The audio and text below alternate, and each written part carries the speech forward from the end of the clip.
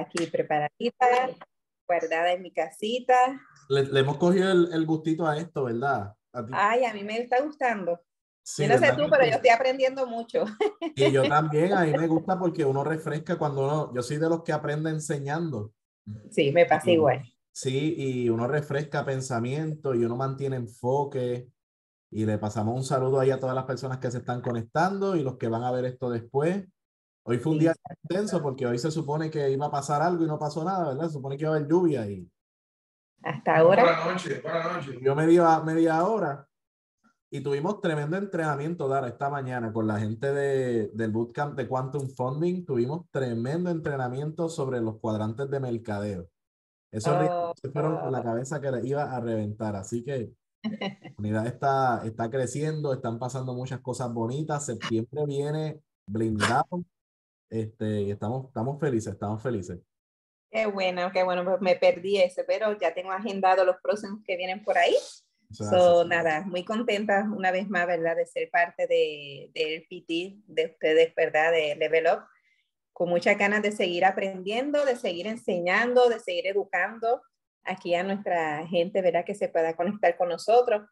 Y hoy tenemos aquí un, un live un poquito controversial, ¿verdad? lo, lo pasamos por mucho filtro antes, antes de lanzarlo. Sí, sí, el, el, primer, el primer título era como que me voy a buscar un problema si escribo esto. Así que lo, lo suavizamos. Se escuchaba bien cuando lo decías, pero cuando lo leías tú decías, mmm, lo suavizamos un poco, ¿verdad? Errores que cometemos los realtors, algunos cometimos los errores, otros cometeremos los errores pero la intención del live de hoy no es criticar a nadie, no es decirle a nadie, ¿verdad?, que no sabe hacer su trabajo, es simplemente educar, porque podemos, podemos también aprender de nuestros errores y que las personas también aprendan a identificar esos errores cuando están trabajando con un realtor.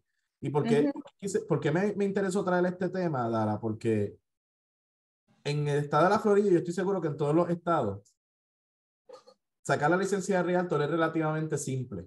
Cualquiera lo puede hacer. Tú no tienes que tener un grado académico, tú lo que necesitas tener es 18 años, pasar la clase, el examen de la clase y el examen del Estado. Y tienes la licencia. No tienes que tener una educación previa, no tienes que tener un background de conocimiento de finanzas, de casa. La licencia la puede sacar cualquier persona. Por eso hay tanto Realtor registrado, ¿verdad? Pero de esos, de esos, de cada 100 Realtor, solamente 14 renuevan su licencia después del segundo año. ¿Ok? Y la naturaleza, de, y, y, y, tiene su naturaleza esto de que uno tenga que estar renovando la licencia tanto, porque es que hay tantos que se licencian que no están ejerciendo, que hay que limpiar el récord, porque si no, todo el mundo tuviese una licencia vigente. Entonces, ¿qué pasa? La licencia te, le, lo que hace es proteger al, protegerte a ti, proteger al Estado de que esta persona tiene un conocimiento básico de la ley de real estate y si mete las patas, es su responsabilidad. Eso es lo que hace la licencia. La licencia no te enseña a vender casas, no te enseña de préstamos hipotecarios, no te enseña de showing, no te enseña de inspecciones, no te enseña de cómo hablarle al cliente, de cuál es el proceso de la venta. La licencia no te enseña nada. Entonces, el realtor engancha la licencia con un broker, ¿verdad? Y si ese broker provee algún tipo de educación, gloria a Dios. Si no provee ningún tipo de educación, pues aprende como pueda. Entonces, dependiendo de tu background, de lo que ya tú sabías antes de ser realtor y del lugar donde estás, eh, va a ser la calidad de tu trabajo, ¿verdad? Hay otros realtor que son empleados, hay otros realtor que son empresarios, hay realtor que simplemente tienen la licencia para sí mismo y solamente hacen el negocio de comprar y vender.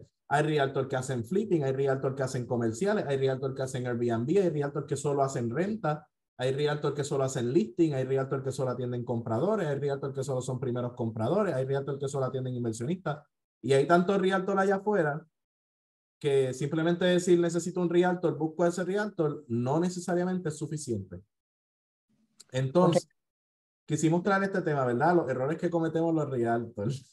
Sí, sí, porque es triste, este Oscar, porque no tan solo nos afecta a nosotros como realtor, sino cómo, cómo la gente ¿verdad? No, nos percibe, ¿no? De, de, de, qué manera se sienten estas personas a la hora de, de, buscar un realtor, si realmente se sienten a gusto, qué preocupación tiene, ¿verdad? Esa, ese cliente, ese futuro cliente, este, cómo nos ven. Y quizás, lamentablemente, ha sido quizás por errores que se han cometido y que quizás se puedan seguir cometiendo, este, ¿verdad? Durante, durante tanto tiempo. Entonces, por eso queríamos traer esto, no tan solo para si hay algún realtor, ¿verdad?, que se conecta por aquí, sino también para que el cliente sepa que es real, que puede ser que sí, que se haya cometido un, error, que no todo, ¿verdad? Que, que, no somos perfectos, ¿verdad? Que no somos perfectos, estamos personas que ya muchísimo a este tiempo, ¿verdad? En, en, esta industria, están los que están recién comenzando, que también es bueno que se le den oportunidades a ellos. Este, yo creo que aquí la importancia es del, del realtor es la hambre y el deseo que tienen de aprender, ¿verdad? Esa humildad enseñable que pueda entender, mira, realmente esto no, no lo entiendo y, y, y, ponerse con ese espíritu, yo digo, ¿verdad? De, de enseñable, de poder ser coachado, ¿verdad? Tener ese líder, ese coach, ese, ese broker, ¿verdad? Que te pueda dirigir en este camino y obviamente, ¿verdad? Esto no es tampoco, esto un preescolar, ese realtor también tiene una responsabilidad, ¿verdad? De sacar de su tiempo, de sentarse y de coger las herramientas que tenga en sus manos y poder crecer y aprender este, sobre esta industria, porque ya todo esto está creado. Realmente, ¿verdad? Es cuántas cuántas ganas tenemos de aprender. Este, Así que dime tú, Oscar. Es triste, es triste que muchas personas se acerquen donde uno y le digan, es que mi realtor, eh, mi realtor no sabe lo que está haciendo es que mi realtor no me dijo eso. Es que a mi amiga el realtor la cogió de boba. Es que, eh, y, y, y, desprestigian la, una profesión tan bonita como esta, porque la verdad es que yo no sé si te pasa a ti, Dara, pero a mí, cuando yo entrego las llaves de esa casa, Ay, no. Es como, si la casa fuese para mí. Eso, Definitivo. Es, es, una sensación repetible tan bonita, porque las personas tienen en su mirada sueños, aspiraciones, deseos, el sueño americano es tener su casa. El, la economía americana gira en torno a Lowe's y a Home Depot. El sueño americano es tener su casa, es tener ese pedacito de tierra que te pertenece y que nadie te puede quitar.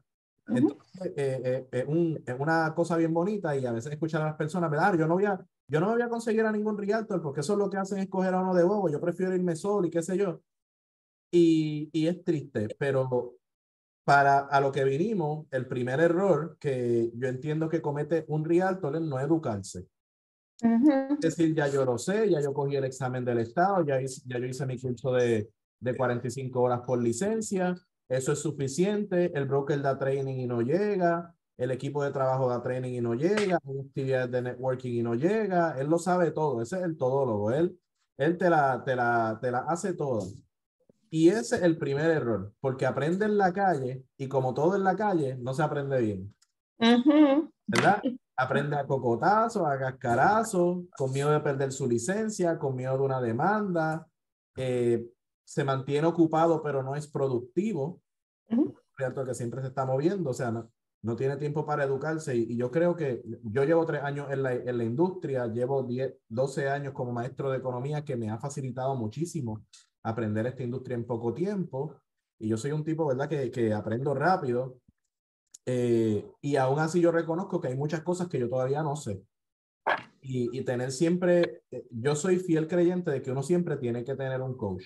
Uno siempre tiene que tener a una persona encima de uno, aunque te cueste dinero. Paréntesis, muchos realtors no quieren aprender porque cuesta dinero. Para un coach es un split commission, o pagar 5 mil dólares, 10 mil dólares, lo que sea que tengas que pagar para aprender. Hay gente que dice, no, no me toques mi dinero. Y ese es el error más grande que puede cometer un realtor, porque tú siempre necesitas a alguien, que voy a explicar la diferencia entre coach y mentor, ¿ok? Un mentor es una persona que ya pasó por donde tú pasaste y te va a decir, cuidado con esa piedra, cuidado con ese hoyo. Un coach es alguien que te mira desde afuera, que mira el juego desde afuera y te puede decir qué dirección tomar. Dicho esto, un coach no tiene que ser necesariamente un realtor o un broker. Un coach puede ser una persona que tiene un conocimiento general que te puede facilitar el juego, ¿verdad?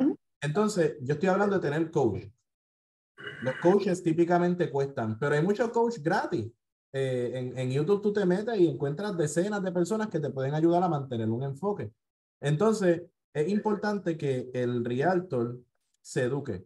Yo creo que una buena pregunta que tú le harías a un realtor que lo, que lo confrontaría y a lo mejor lo ayudaría es, ¿quién es tu coach? Imagínate esto, Dara, como cliente, ¿verdad? Yo tengo la respuesta rapidita, como ¿no? cliente, tú vas y le dices a tu realtor, ven acá, ¿quién es tu coach? no te contesta, bandera roja. Sí. Porque es un realtor que va a, va a tener, eh, te puede dar una información no completa, te puede dar una información irrelevante a los tiempos, te puede sencillamente no saber qué está pasando en la transacción. Porque una vez se firma el contrato, hay realtors que se desaparecen y, se, y los vuelves a ver el, día de la mesa del cierre y el trabajo verdadero no es enseñar casa. Cualquiera puede abrir una casa. El verdadero trabajo viene después del contrato. Cuando viene la inspección, la tasación, el banco no te quiere aprobar, te pidieron aquello, lo otro, aparecieron hijos por allá. Ahí es que viene el verdadero problema. El pozo séptico está tapado, la fundación está grietada. Dara, ¿qué no te ha pasado? Estoy esperando el del confeti, del confeti estoy esperando. Eh, eh, es una buena pregunta para hacerle como cliente a tu original. ¿Quién es tu coach? ¿Verdad? este, investigar. Eso fíjate, Oscar, qué bueno que mencionas eso, porque una de las cosas cuando yo, ¿verdad? Me voy a acercar a este futuro cliente, este, antes yo le presento a mi equipo, ¿ves? Yo le presento a, a, nuestra comunidad, ¿verdad? Que es como una de las palabras que nosotros utilizamos mucho acá en, en lo que es Level Up, ¿sabe? El, el, por qué no tan solo es que me escoja a mí, sino que al escogerme a mí, está escogiendo detrás de mí a un grupo, a un equipo, a una comunidad de personas que trabajamos, trabajamos en, en, en unión. Y eso nos da a nosotros una gran fortaleza, Oscar, pero muchísima, la muchísima. Fuerza de, la fuerza del equipo es indiscutible, porque lo que tú no sabes, tu equipo te va a complementar. Cuando tú no sabes, tu equipo va a estar ahí. Esa persona se va a sentir apoyada en todos los aspectos. Y dentro de ese equipo no solamente está eh, el grupo de Realtor de nosotros, también están nuestros conectores. Esas personas con las que nosotros hacemos negocio todos los días, que sabemos, podemos percibir su integridad y podemos saber si son personas de, de buen carácter, de buen juicio. Esos bancos, eh, esos inspectores, eh, esos, en algunos casos tasadores, esos técnicos de aire acondicionado, esos instaladores de paneles solares, esos instaladores de sistemas de purificación de agua, los pintores, los handyman, toda esa gente que uno conoce, eh, cuando el cliente sabe que uno tiene esa cartera ahí, uh en un punto de contacto. Cuando uno está como llanero solitario, pues se te hace difícil, ¿verdad? La casa de título que uno usa, ¿por qué uno usa esa casa de título? ¿Por qué yo insisto en, en, cerrar mis casos con Unique Title? Eh, o sea, esa, esas cosas son son súper importantes y se obtienen a través de esa educación. Correcto. El segundo error que yo pienso que, que cometen los realtors, bandera roja, piensa solo en su comisión. Es el que desde que tiene la precualificación ya calculó cuánto se va a ganar. Eso es peligrosísimo. Amigo realtor que me está escuchando, hay un cuento de puertorriqueño folclórico que se llama Juan Bobo y la canasta de huevo. Y iba Juan Bobo caminando por el, por el camino, bien contento porque tenía una canasta llena de huevos. Y cuando iba llegando al, él iba llegando al pueblo, él decía, con estos huevos yo voy a comprarle un traje a mi mamá y yo voy a hacer, eh, y yo voy a hacerle una, un arreglito a la casa y voy a hacer una buena compra en el mercado para tener una cena para celebrar. ¿Sabes qué le pasó a Juan Bobo cuando entró al pueblo? Al pueblo? Se tropezó con una piedra y se le cayeron los huevos. yo sí sé, sí. ¿Sí? Eh, digo el que me está escuchando. Tú no puedes contar con dinero que no te pertenece. Que no tienes mano. ¿Por qué? Porque, porque primero vas a tener el enfoque incorrecto a la hora de asesorar a tu cliente. Vas a querer siempre venderle la... Si un cliente tiene una precualificación de 500 mil, pero no le da la gana de pagar 3 mil dólares mensuales, pues no le puedes buscar casas de 500 mil, tienes que buscarle casas de 300. Y obviamente la comisión es proporcional al precio de venta pero tú no puedes, tú no puedes meterte por original y de boca una casa de medio millón porque él la puede pagar porque no la quiere. De la misma manera, no le puede esperar una localización específica. que, que tiene que ser aquí, tiene que ser esta comunidad, porque hay comunidades que nos pagan a nosotros el 5% en vez del 3%. o, o 3% más 5 mil dólares de bono. Ah, no, déjame llevarla allá porque allá están los chavitos. A nadie le amarga un dulce, pero si ese es tu enfoque como realtor, tu cliente lo va a percibir y puede que lo pierda, porque, no, porque los clientes no son tu chequera.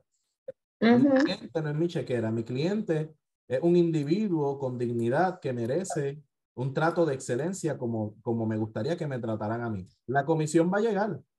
Incluso hay veces que la comisión la tienes que rendir. Hay momentos que, que tú, necesitas, tú necesitas que esa persona tenga una casa y eso se llama ética, se llama moral. Y tú necesitas que esa persona tenga una casa y si eso significa sacar 8 mil, 9 mil, 10 mil dólares de tu comisión para que eso suceda, debes tener la capacidad de hacerlo. No es que la norma, porque el, el, el trabajador es, es, digno de su salario, ¿verdad? Pero lo que te quiero decir es que si, si estás trabajando por el dinero, y aquí se gana muy buen dinero, eh, tienes un enfoque peligroso. Y posiblemente, posiblemente va a crear, va a crear dilema en, en, en lo que los demás hacen, que lo tratamos de hacer de corazón. Sí, porque ese es el problema, tú lo has dicho, Carl, porque es que no hablan del realtor, hablan de los realtors. Correcto. No es que los, porque tuvieron una mala experiencia, ¿verdad? Con uno, pero ya entonces estamos, caemos todos, ¿verdad? En ese, en ese listado. Caemos todos en la redada. Es como cuando un maestro mete la pata, hablan de los maestros. Cuando un policía mete la pata, hablan de los policías. Entonces, para, y, y, de hecho, en la clase de ética se habla de eso. Nosotros tenemos que certificarnos tomar un curso de código de ética y juramentar y todo en una Biblia, ¿verdad? Eh, no podemos atentar contra eso con lo que juramos, ¿verdad? Eh, la tercera es proveer información oficial fuera de la licencia. Yo conozco, yo conozco pero así es lo que yo le digo a los realtors eh, cuando estoy entrenándolo en el coaching. yo siempre les digo, aunque tú sepas la contestación, si no tiene que ver con casa, no la des. Como te dije, como me enseñaron a mí, zapatero a sus zapatos. ¿Cuál es la tasa de interés del día de hoy? ¿Qué sé yo? Pregúntale a tu Porque el problema es que yo te digo, hoy la tasa de interés es 6.25 y tú te haces una precualificación hoy y te dieron 7.25. Ah, no, pero es que el realtor me dijo que era 6.25. La tasa no la establezco yo, la establece la Reserva Federal. Y si tu crédito es XYZ, esa tasa puede fluctuar. Entonces, si, si, es necesario darle el número, le puedes decir a, a, tu cliente, bueno, tengo una transacción que está al 625, pero la tasa es variable. Tienes que ver igual con el banco cuál va a ser el negocio que tú vas a tener. Ve, eh, yo cualifico por un FHA, ¿ya? y tú vienes y le, le, le tiras los números y eso, y tú puedes hacer una, un, un, una evaluación de debt to income, no hay nada malo en eso pero tú no eres el banco y tú no eres el que va a prestar. Tú no le puedes decir a la persona, ah, sí, mira, para saber los números que tú me estás diciendo, a ti te pueden precualificar por 500 mil dólares. Porque cuando vaya al banco y el banco le diga, no, son 250, ah, pero es que el realtor me dijo, me dijo medio millón. ¿Y quién quedó mal?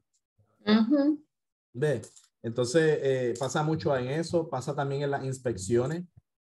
Eh, yo, no, yo, yo soy un realtor que yo no, va, yo no voy a las inspecciones. Hay realtor que le encanta ir el día de la inspección, pero ninguna de la opinión que yo tenga va a poder más que el reporte de un profesional licenciado y para eso es que se pide un inspector licenciado.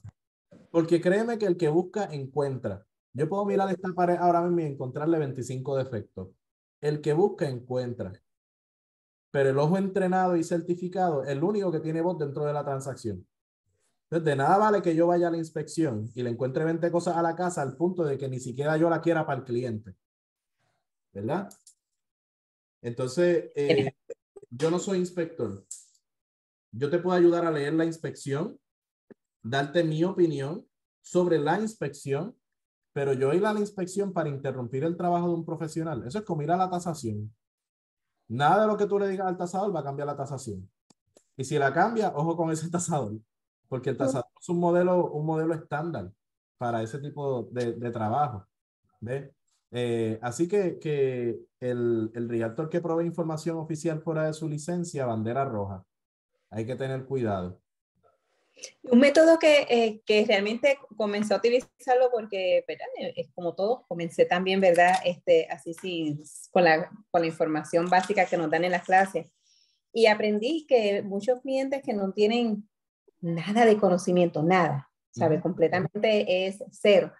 El que tú lo puedas llevar, este, o por lo menos explicarle el paso uno, paso dos, simple Paso tres, y esto te va a pasar y luego de esto va a venir un inspector, el inspector es que se encarga. Todo lo que tenga que ver con tu finanza, préstamo, interés y esto es esta persona. Todo lo que tenga que ver con el es esta persona. Entonces, que, que el cliente de antemano sepa cuál es tu rol como realtor es algo que hasta, hasta nos alivia, ¿no? Nos alivia en manera porque ya él sabe de antemano. Muchas veces las personas vienen primero donde nosotros cuando nosotros sabemos que si no hay precualificación no podemos hacer nada. Pero eh, es algo, ¿verdad? Que vamos a buscar un realtor y el realtor dice, ok, vamos a buscar y lo ponemos, ¿verdad? Que es, la, que es el primer paso. Pero el que tú le puedas decir de antemano, ¿verdad? Ese paso uno, paso dos, porque pues, yo tengo clientes que realmente este, no, no tienen conocimiento de absolutamente nada. Y el que yo pude haber explicado esto desde el inicio, pues ya ellos sabían dónde o a quién acudir cuando tenían una duda de algo sobre la transacción. Ya ellos saben si era conmigo, si era con fulano, si era con el inspector, si era, ¿verdad? Y de esa manera, pues, se me, ¿verdad? Pude facilitarme también este, muchísimo. Y como dije al, principio, zapatero a su zapato. Eso es tremendo. Un, un realtor que desde la primera conversación le dice, este va a ser mi trabajo, y establece cuáles son sus parámetros y cuáles son sus límites eso ayuda muchísimo a una transacción y no solamente los pasos de la transacción, sino también disponibilidad. Porque hay muchos clientes que piensan que el Realtor está disponible 24/7 y a las 10 de la noche el sábado te preguntan algo y tú le contestas el lunes por la mañana y te dicen, ah, no te tardaste demasiado. ¿Verdad? Esto es un trabajo y, y, tenemos vida, tenemos familia. Y, y si tú le dices a la, a, a la persona, mi trabajo es lunes a viernes 9 a 5, si me escribes a las 6 de la tarde, puede que no te conteste hasta el siguiente día las personas respetan mucho eso. ¿Ves? Oye, no hablamos sobre eso, pero qué bueno que lo mencionas porque creo que eso se pudo haber añadido también ahí, porque eso es uno de los errores que cometemos los realtors. Sí, uno de los, errores que, cometemos, uno de los errores que cometemos es que nos, nos ofuscamos tanto en la transacción que estamos disponibles para ese cliente 24/7. Y eso es peligroso porque, mira esto, los bancos trabajan lunes a viernes 9 a 5. ¿Lo llamas a las 5 y 15? Viernes a las 4 y 15, a las 4 y 20, al banco se le trancó un papel. Y a ti te dio con llamar a ese cliente el, ese mismo día a las 6 de la tarde. Ese cliente no va a dormir sábado y domingo. Y no va a poder hacer nada hasta el lunes. ¿Entiendes? Entonces, le creaste un inconveniente y una tensión. La, la, gente se pone bien tensa. Y yo tenía, yo tuve una, una clienta que bajó 14 libras en la transacción. Yo le llevé hasta comida, yo le decía, tienes que comer, mujer. Ay, es que esto me tiene bien nerviosa, esto me tiene muy ansiosa, que digo, una cosa. Y ella bajó 14 libras en la transacción. ¿Ve? Entonces, eh, si tú sabes que tu cliente tiene un nivel de ansiedad, o pudiera tenerlo, porque uno aprende a leer al, al cliente, ¿verdad? Eh, que sepa las horas de oficina, porque los fines de semana los bancos no trabajan, ahí no hay nada que hacer. Ten paz. Ten paz. que ese es, el, ese es el lema, ¿verdad? Yo, cuando tengo el contrato conmigo, lo que le digo es, bueno, felicidades. Ahora el siguiente paso es tener paz. Ese tiempo de intermitencia, tú sabes, entre la inspección y la tasación, que pueden pasar 24 horas o 7 semanas. Que es como, como, como tres meses. No, pasa nada y tú dices, a mí nadie me llama. Los clientes dicen, a mí nadie me llama, nadie me dice qué está pasando, es que no está pasando nada. Estamos esperando al tasador que desapareció. Eh, eh, eso, eso, eso está chévere, fíjate. No, y que bregamos con humanos, el tasador es un humano que le pueden suceder cosas, el inspector es otro humano, el lender es un humano. Eh, no somos robots todavía aquí, ¿verdad? No hay nadie de inteligencia artificial en el level up, ¿verdad? Somos humanos todos. Todavía no está el robot, no. Este, así que sí, uno de los errores que cometen los realtors definitivamente es no establecer horarios de trabajo. Y número cinco, recoger información privada. Error. peligro. Al, principio, un par de veces. ¿Qué significa esto? Maestro al fin, me imagino. Hay mucho, eh, mira, yo tuve un, hay un broker que lo, lo, quiero con todo el corazón y yo creo que él no lo sabe, se llama Jay Caballero de Home Trust Realty. Ese hombre es un, un, una dama, un caballero. Y él era, él, él, él se preocupaba porque sus agentes entendieran lo importante de, de, de las salvaguardas que existen para no meter la pata, porque él, él, él ha estado presente en esos juicios donde las licencias se pierden. ¿Y qué pasa? Que una de las cosas que yo aprendí en su oficina es que cuando, y cuando, cuando hay un realtor que te dice, mándame los taxes, mándame los pay stubs, mándame los estados de cuenta, mándame los ID, mándame todo, y yo se lo paso al banco, a veces uno siente que uno está haciendo la acción más noble del mundo. Pero a ese cliente a los tres meses le robaron la identidad. Ay, ¿Y qué va a decir el cliente? No es que nadie tiene información más que el realtor. Oye, aquí en Kissimmee, cuando yo me mudé aquí hace 12 años, se veía mucho los contables vendiendo los folders completos. Tú sabes que cuando vayan a los taxes, igual entregas tu vida. Esos folders para crear identidades y pasaportes falsos. Yo tuve aquí una enfermera que la hija tenía una casa, eh, le aparecía en el crédito y la nena estaba en primer grado. Forjaron toda su identidad y la llamaron y le dijeron, mira, pero es que mi hija tiene, mi hija está en primer grado, ¿de qué me estás hablando? Le, le crearon una identidad falsa a alguien con la información de la hija. ¿Ok? Entonces, cuando tú recibes toda esa información del cliente y se la entregas al banco, tú piensas que estás haciendo algo noble porque estás haciendo que se acelere la situación. No, señor. El cliente tiene que asumir responsabilidad. Es su casa, es su transacción, es su banco él tiene que darle esa información al banco con prontitud. Si se tarda y perdemos la oportunidad de la casa, es porque el cliente no quiso hacer el procedimiento. Y hay, clientes, que, se ponen medio changuito y no, es que yo necesito ayuda, es que yo no sé ver con eso. Pues aprende para que tengas casa, papá. Yo, cometí, yo cometí mucho ese, ese, error al principio y cuando yo me enteré del, del riesgo donde yo me, de la agua donde yo me estaba metiendo, yo no vuelvo. ¿Ok? Y estos errores uno los aprende con la experiencia también, los hemos cometido todos. pero cuando, cuando viene un cliente, no, yo quiero que me diga si estoy listo o no. Ok, vamos a, vamos a hablar de boca la situación y le creo el debt to income y toda la cosa, ¿verdad? Ok, si todo lo que tú me dijiste aquí es cierto, ahora mándaselo al banco. Aquí está el teléfono del banco si no tienes uno. Porque siempre hay que preguntarle, ¿tienes un banco de preferencia? No, no tengo banco. Ah, pues mira, es, aquí está Carolina. Carolina es la bestia, el caballito de Troya. Llámala a ella. Carolina es tu amiga. Héctor, aquí está Héctor. Héctor es tu amigo. Y lo referimos al banco y entonces le damos seguimiento con el banco. Ve. Pero Dios me libre. De, y, y, y, y, esto, y esto es importante porque dentro de eso también está el elemento transparencia. Al cliente también hay que decirle, tienes que ser transparente con el banco. Correcto en la transacción de real estate todo se va todo se va a descubrir. Todo, todo, todo se va a descubrir. Dile en qué gasta el dinero, dónde está guardado, quién lo tiene, cómo lo conseguiste.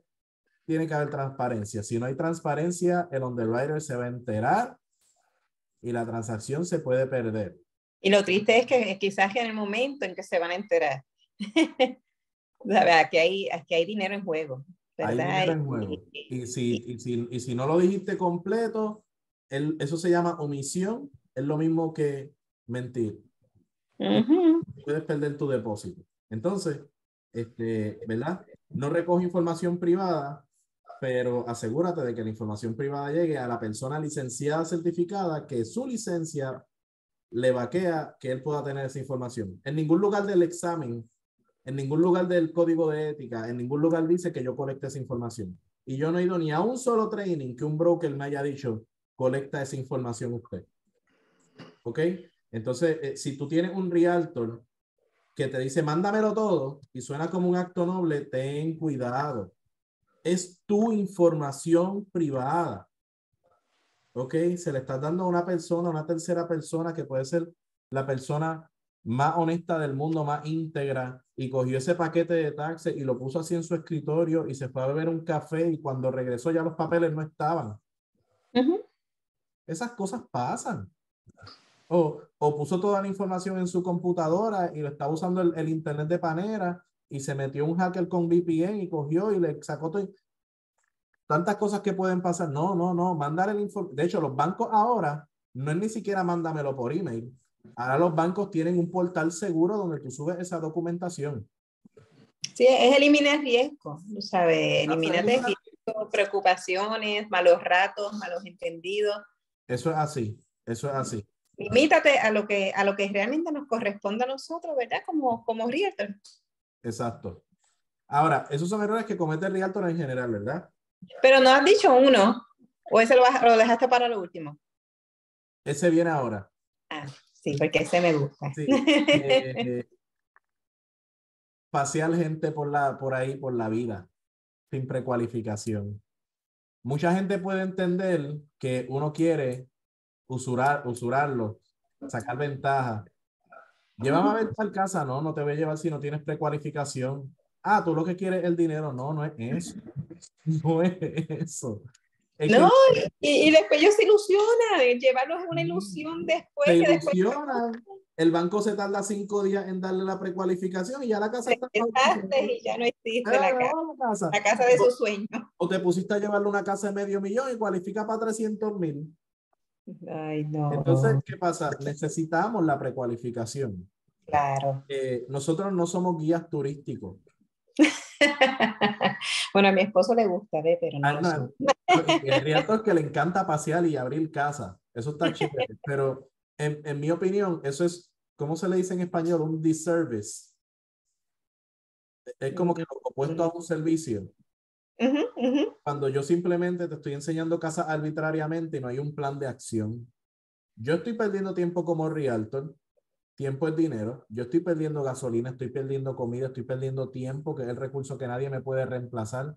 Eh, y te estoy haciendo perder el tiempo a ti también. Especialmente cuando vemos esa casa que está bien calientita, bien bonita, que es la que todo el mundo quiere. Oh, Cuando van en familia, los hijos que se ilusionan, este es mi cuarto, este. Sí, no, la precualificación es, nos va a dar, la, la precualificación es el mapa.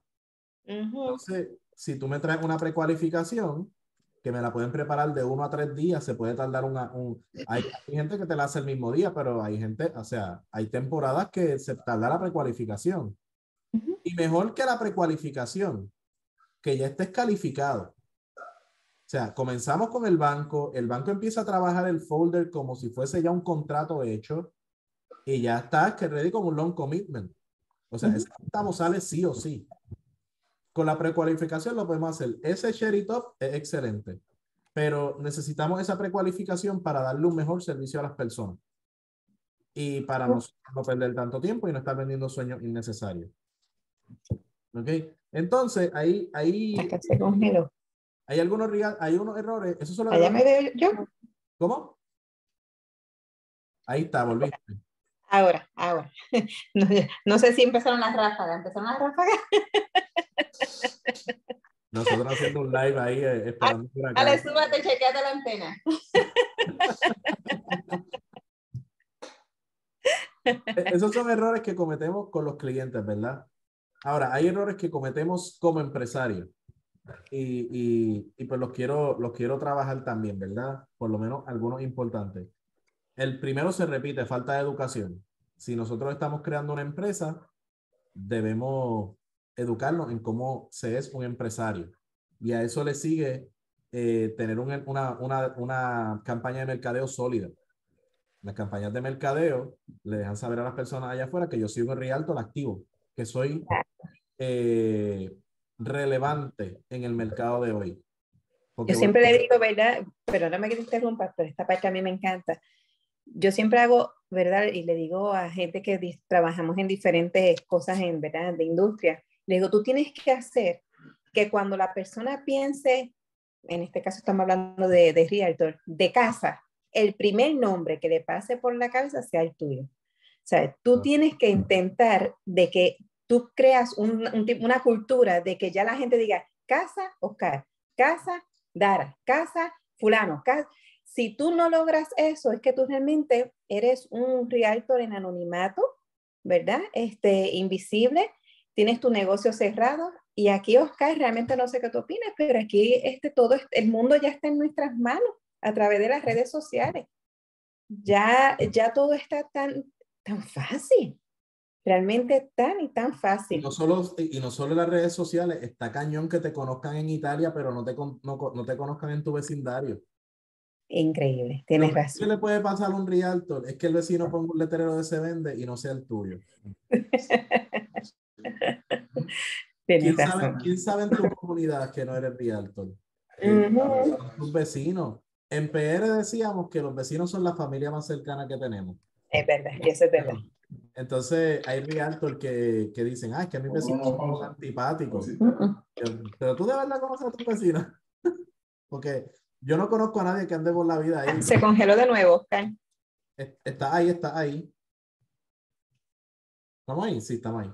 Ahora, déjame cualquier cosa por si se congela, déjame tener el teléfono por aquí. Ah. Yo, no conozco a nadie en la vida que ande por ahí amargado y diciendo, mirándose en el espejo y, decir, y diciendo, ¿qué mira? A lo mejor, a lo mejor tuvo un mal día, tú sabes.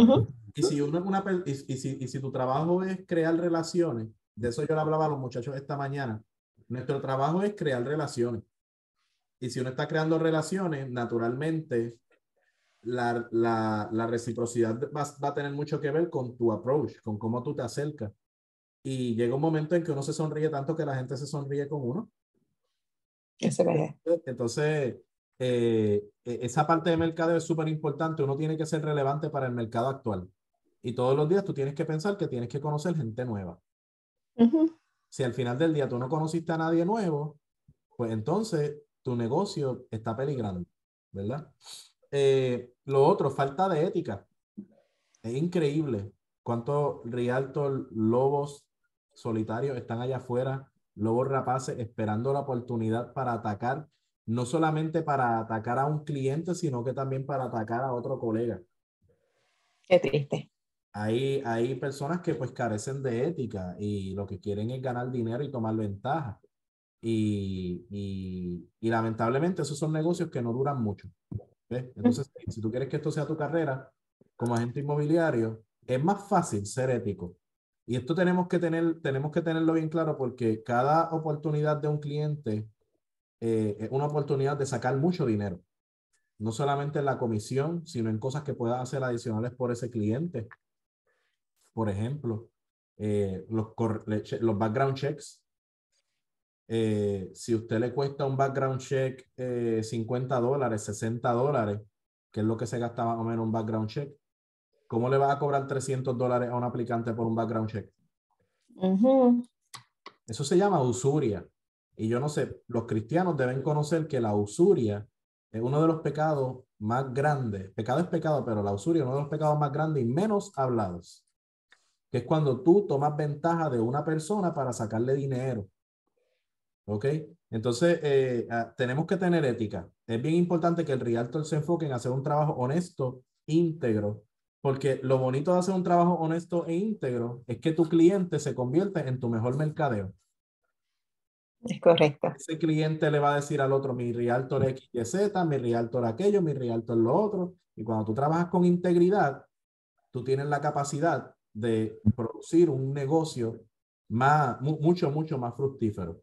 A mí me dieron un consejo hace mucho tiempo, ¿verdad? Y, aquí en mi casa lo, lo, conocen, que me dijeron, Daris, existe lo bueno, lo malo y lo correcto. Cada vez que tú tomes una decisión, tú pregúntate, no te preguntes si es bueno, porque que sea bueno no significa que sea correcto. Eso es así. Es malo. Pregúntate simplemente si es correcto. Y créeme que a mí ese consejo nunca se me olvidó y muchas veces en mi vida yo tengo, eh, tengo que hacerme este, esa pregunta. ¿Es bueno, es malo o es correcto? Mira, a mí me ha pasado que yo tengo clientes que tienen una precualificación máxima, por ejemplo, de 375 mil dólares y yo los llevo a un proyecto donde yo sé que los taxes van a ser altos y yo sé que, que el año que viene le puede subir el seguro de la casa y el pago le puede, se le puede, le puede cambiar muchísimo. Y yo sé que eso, esas personas en este momento, esos 375 le pesan. Hay gente que esos 375 no le pesan y tienen su reserva y tienen su dinerito extra. Y, pero hay, hay casos donde tú sabes que están ahí rayando el borderline de estar endeudado. Yo tengo que tener una conversación honesta con esos clientes y decirle, mira, esta casa está en esto, pero yo necesito que tú te visualices en dos o tres años. Porque si hay una cosa que a mí me daría mucha tristeza es que tú me llames el año que viene para venderte esta casa porque no la puedes pagar. Ve, eso, esa, esa conversación hay que tenerla con el cliente, porque tú tienes que dar el sacrificio que él va a hacer a la hora de comprar una casa y no lo puedes, y no lo puedes embrollar. No lo puedes endeudar demasiado. O cuando viene un signo de donde ti que me pasa mucho, mira, a mí me interesa vender mi casa y que soy única de y yo lo veo, veo su edad y la pregunta que, o sea, si yo soy otra, ¿verdad? Volvemos, lo correcto. Y digo, ¿y si se vende mañana, para dónde vas? Este, ay, pues mira, todavía no sé, ya, pues resuélveme eso. Cuando me resuelvas eso, vamos a ponerle que se venda mañana, el otro día. Entonces volvemos a sentarnos y volvemos a, a hablar sobre eso, eso es súper, súper importante. No comprender las necesidades del cliente. Hay realtor que el cliente le dijo que era una casa tres cuartos, dos baños, con piscina, con verja, que no pague HOA, y tú lo quieres meter en una casa de cuatro cuartos, sin piscina, sin verja, con HOA. ¿Verdad? Esta es la mejor para ti, esta es la que te conviene, este es tu negocio. Eh, bandera roja. Uno tiene que saber las necesidades del cliente y crear un balance. Porque a veces el cliente tiene un techo, ¿verdad? Y a lo mejor de la misma manera tú lo puedes enseñar a soñar un poco más. Yo me acuerdo, yo tuve un caso que quería una, lo primero que hablamos era que quería una casa terrera, amplia, con doble garaje y que no tuviese el agua atrás. Terminó con una casa de dos pisos, con garaje doble y con un lago atrás. Yo no sé, yo, it just happened, you know. pero, pero, pero tienes que conocer las necesidades del cliente y a veces esas necesidades están limitadas y tú sabes que el cliente puede lograr algo más. Muestra la opción, pero déjala saber, mira, esta es una opción, evalúala, ¿verdad? No, no se la empuje por ojo, nariz y boca, bendito sea Dios. Oscar, ¿es recomendable dar números en medio de una transacción? ¿Cómo? dar números. ¿Dar números? Con el disclaimer de estos números son tentativos. Sí, eso es un error enorme. Uno, mira, esto es lo que te va a salir la casa, esto es lo que vas a pagar mensual y esto es lo que va a tener los gastos de eh, cierre. Eh, tú lo que necesitas es esta cantidad y ya, ya ah, está. Y ahí está. No se puede. no se puede porque los números evolucionan según la transacción va prosperando. Y de repente el HOA cambió y te cambiaron los números y de momento eh, los taxes que se están contando no tienen homestead y los tuyos van a tener homestead y el pago te baja un poco. Eh, de repente la tasación en vez de salirte en 500 te salió en 900. Ahí ya cambiaron los gastos de cierre, 400 dólares. Eh, y cuando, o sea, a, ti te dan al principio un, un closing disclosure. Estos son los números que preliminares de la transacción. Pre, li, mi, na, res. Los números del final se van a aparecer pero no son esos mismos. Entonces, eso es bien importante. Yo, un realtor, ¿verdad? Que se respeta, no le, no le dice, ah, con 30 mil de down y ya estamos. No, no, no, vamos a, con calma. Vamos a ver de en qué consisten esos 30 mil. Y volvemos, eso le toca al lender. Al lender, correcto. quítate esa carga de encima, quítate esa carga de encima. Libre. Otro error que cometemos, mala gestión del tiempo.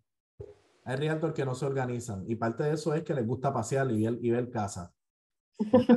Este, lo, nosotros somos empresarios, trabajamos desde nuestra casa, tenemos nuestra familia, escogemos nuestro tiempo de trabajo, pero a veces decimos, no, no tengo tiempo para crear mi mercadeo, no tengo tiempo para ir al taller, no tengo tiempo para aprender, no tengo tiempo para reunirme mi coach. Y cuando tú vas al, al a, a, tu, a tu iPhone y vas a settings, y le buscas screen time, descubres que lleva 11 horas del día viendo redes sociales. Tu teléfono te da eso. Mm. De verdad que yo pierdo mucho tiempo en el teléfono. No tienes que hacer un ejercicio exhaustivo. Abre el settings, abre el, el, el usage, el uso.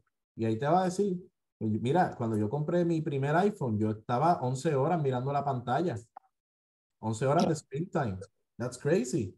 Ya vamos por 7. ¿Ves? pues, porque te ayuda. Entonces, te, e, ese mal uso del tiempo, esa falta de organización, afecta al cliente. Que los papeles no están a tiempo porque no seguiste la fecha. Qué triste es que tengas siete días para inspección y te dé con evaluar la inspección en el día 8. Ya se acabó el break. ya no te puedes quitar, ya no te puedes quitar de la transacción porque pierdes el depósito. Entonces, si había algo importante en esa inspección, ¿viste? Uno tiene que estar bien pendiente a las fechas, bien pendiente a lo que uno tiene, ¿verdad? Eh, eh, a, todo eso. Así que la, la, mala gestión del tiempo es uno de los errores que cometen los realtors en general y, y una buena gestión de tiempo siempre ayuda a que tenga un mejor negocio. Falta de enfoque en el servicio al cliente. Los realtors a veces se le olvida que están bregando con seres humanos. Yo me acuerdo en Filadelfia, cuando yo vivía en Filadelfia, yo quería comprar una casa. A mí me iban a pagar 90 mil dólares anuales cuando renovara contrato. Y eso era un billete, 90 mil dólares anuales por ser maestro. Aquello era un billete. Y me llamé un realtor. Y digo, mira, yo quiero comprar casa. Y lo primero que me preguntó fue, ¿cuánto hace al año? Y yo le digo, bueno, ahora mismo estoy haciendo 65 mil, pero voy a empezar 90 mil el año que viene. ¿Y en qué área quieres comprar? Ah, pues yo quiero comprar en el área de, de Northwest Philadelphia. Se echó a reír y me colgó. Mire, eso a mí me, eso a mí me traumatizó. Yo no sabía que allí las casas estaban a 800, 900 mil dólares. A mí simplemente me gustaba el área. ¿Qué sabía yo de real estate? Yo acabo de salir de Sidra, Puerto Rico. Y esa ciudad tan grande. Entonces, pero mira, trabajamos con gente. ¿okay? Y uno no sabe las batallas que la gente está librando. Uno no sabe que estoy comprando porque estoy pasando por un divorcio y estoy empezando de nuevo. Uno no sabe que estoy comprando porque mi hijo se fue y la casa me quedó grande. Pasan tantas cosas. Eh, uno tiene que, tener, tiene que tener tacto con la gente. ¿verdad? Sí, que, que no se le quite uno nunca ese, esa nobleza en el corazón, tú sabes, que, que, eso vaya por encima, por encima de todo. El día que, que, el dinero vaya por encima de lo que realmente es el servir, el, el ser noble de corazón, ese día es mejor retirarse, no entregar la licencia y decir, bueno, hasta aquí ya, ya, no puedo comprar. Yo tenía una clienta que me llevaba por el camino de la amargura. yo tengo muchas historias. Eso me llamaba todos los días con tantas preguntas. Yo decía, ¿pero qué le pasa? ¿Qué pasa? Desesperada, desesperada, una cosa, ¿qué le pasa? Pero siempre que hablaba con ella, somos agentes de paz. Yo le digo a mi realtor, nosotros somos agentes de paz. Estas personas están a punto de tomar una decisión que les va a cambiar la vida. Es normal que tengan estrés, ansiedad, se sientan con incertidumbre. El banco no me quiere. Ah, porque la culpa siempre es del banco. El banco quiere ayudar. Mira, el banco no cobra hasta que cierra, por amor a Dios, igual que nosotros. Claro que te quiere. El banco quiere cerrar. Tenía que decir si se dijo. La culpa siempre es del banco, ¿verdad? Entonces, las personas eh, eh le da mucha ansiedad. Y, tú, puedes, tú, tú, no puedes primero alimentar la ansiedad, pero tampoco la puedes desvalidar, porque es una ansiedad válida de incertidumbre. Entonces, ofrecer ese, ese Sherry Top de servicio al cliente definitivamente ayuda muchísimo. Son muchos, son muchos errores que cometemos, Oscar. Y el último error que cometemos como empresario es la falta de seguimiento. Oh, sí. Me llama un cliente altamente interesado, yo estaba ocupado haciendo otras cosas, no anoté su información, le dije te voy a ayudar y desapareciste. Entonces no le dimos seguimiento a ese cliente y ese cliente está todavía esperando por ti. Le estás privando la oportunidad de tener una buena oportunidad en el mercado actual. Y ese cliente pasa meses y es que el realtor nunca me llamó. Entonces, si no tienes la capacidad de atender 500 leads, no produzcas 500 leads. Ok, si no tienes la capacidad de atender 20 leads, no produzcas 20 leads. Volvemos a lo que mencionaste anterior, organizarse.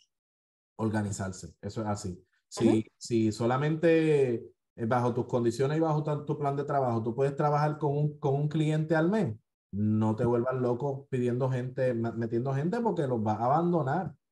Entonces, eso no habla bien de ti, no habla bien de tu negocio y, y va a decepcionar a muchos y también te va a decepcionar a ti. Es correcto, eso es correcto. Bueno, yo creo que ya no, ¿verdad? No, casi. Más, pero esto está. nos pelamos, nos pelamos aquí. Nos la rodilla. Le quiero decir a los clientes que los amamos. sí, ¿verdad? que, me, gusta, me gusta como Rialto hacer una reflexión de qué yo he hecho que está bien, qué yo he hecho que puedo mejorar, porque si, si yo paro de crecer, muero y yo necesito crecer y Dara necesita crecer y necesitamos crecer juntos y evolucionar en este mundo loco, lleno de locos, ¿verdad? Y, y que todo el mundo pueda lograr ese, ese American Dream. Así que gracias por soportarnos. Claro, y si hay algún realto por ahí, ¿verdad? Que ha cometido uno de estos errores que hemos cometido, no se sientan solos. Lo importante es, ¿verdad? Reconocerlo y trabajar en él. Y, ¿verdad? Si tienes un buen equipo, ¿verdad? Trabajando en conjunto, perfecto. Si no lo tienes, aquí estamos, en lo que podamos servir.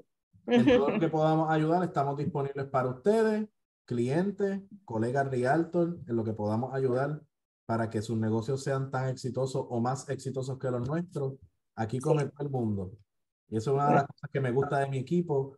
Eh, no estamos, no estamos joseando clientes, ¿verdad? Aquí nos alegramos de los closing de todo el mundo como si fuesen de uno. Esto somos una gran familia, somos amigos haciendo negocios y como dice Cube, juntos llegamos más lejos.